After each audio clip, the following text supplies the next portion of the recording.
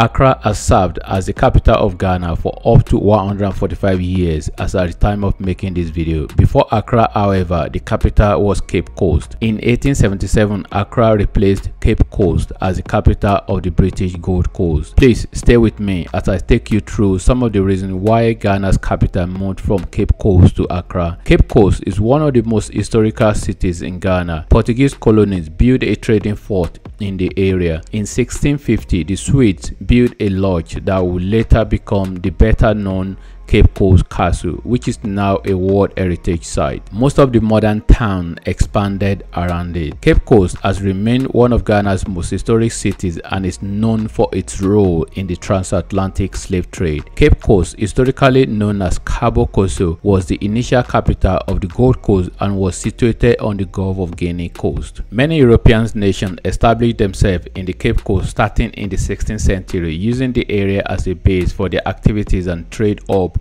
for commodities like gold and slaves. Before the British arrived, there was the Dutch, Portuguese and Swedish people, as well as serving as the economic and administrative center for the British Empire. Cape Coast was a significant Ashanti trading hub and roadstead port. The British took control of the Swedish-built Cape Coast Castle in 1663 and it was thereafter used as the capital of the Gold Coast colony, with the establishment of some of the first schools, such as the Philip Quaque Boys School. It also developed into a center for education. The British colonial government in the Gold Coast chose Accra as its administrative center in 1877, replacing Cape Coast as the regional's first capital. One of the reasons for the decision to move the capital to Accra was that Accra had a comparatively drier climate to Cape Coast. The drier climate favored the Europeans who were used to colder climate in their home country. Another reason why capital moved from Cape Coast to Accra was because of the opposition to the British proposed window tax. The British colonial government instituted the window tax while they were in Cape Coast. The British proposed this property tax as a way to collect money from the locals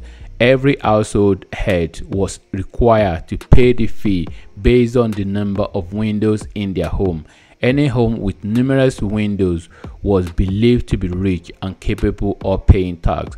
However, the locals fiercely opposed it since they didn't agree with the tax jurisdiction. After that, they dispersed in order to establish Accra as the center of authority.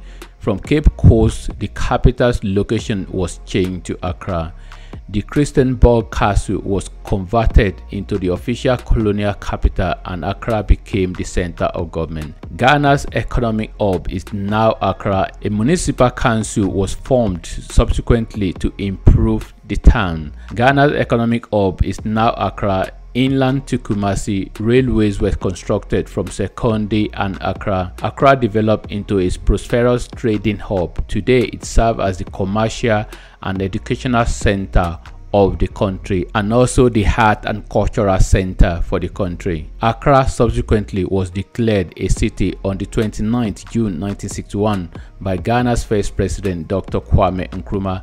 Accra has been one of the fastest growing cities in Africa since the pre-colonial era. The next video you might consider to watch is my video about should Ghana move capital city away from Accra. Thanks for watching and God bless.